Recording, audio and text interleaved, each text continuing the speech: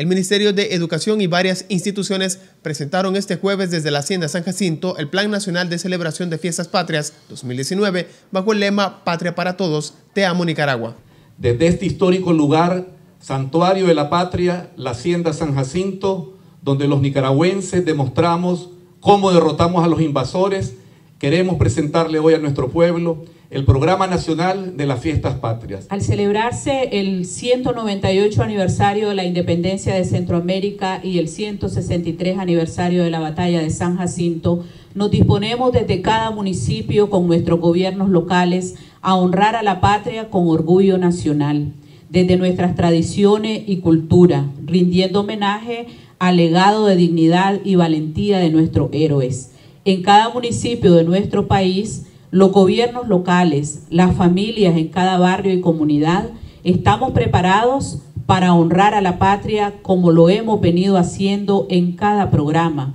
en cada proyecto que se ha hecho realidad en cada uno de nuestros municipios, en los parques construidos promoviendo la sonrisa y la felicidad de los niños, en cada escuela, en cada puesto de salud, en cada calle, camino, vivienda y lote de terreno entregado, en los centros de desarrollo infantil, las casas maternas, los hospitales, las carreteras, los proyectos de agua. En cada esfuerzo hemos venido haciendo patria. Por su parte, el compañero Salvador Vanegas, asesor presidencial para temas de educación, indicó que el plan desde el sistema educativo busca ensanchar el corazón de amor a Nicaragua. Con mucha identidad nacional, con el orgullo de ser nicaragüense y de estudiar bajo este cielo bendito para prosperar.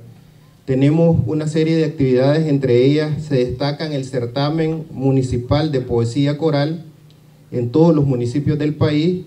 el concurso de oratoria ayer, hoy y mañana, La Paz es la ruta que organiza la comunidad universitaria de UNAM León y el Consejo Nacional de Universidades, el certamen Cantando a la Patria con composiciones inéditas de jóvenes compositores